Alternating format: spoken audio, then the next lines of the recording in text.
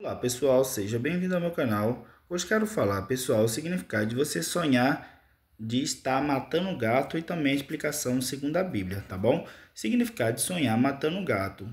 Sonhar e matar gato pode ter diferente significado, dependendo de como foi seu sonho e das emoções que você sentiu ao ter esse sonho. Geralmente, sonhar e matar gato pode representar a necessidade de eliminar algo negativo ou prejudicial em sua vida. Pode ser um símbolo de superação de medo insegurança ou problemas emocionais. Também pode representar a necessidade de tomar uma decisão ou se livrar de algo que está te prejudicando. Explicação segundo a Bíblia sobre o que significa sonhar matando gato, tá bom? Na Bíblia, os gatos não são mencionados especi especificamente, tá bom? Mas existe referência a animais e ações que podem ser relacionadas ao sonho de matar um gato, por exemplo. A Bíblia, a Bíblia menciona a importância de cuidar dos animais e não causar dano desnecessário.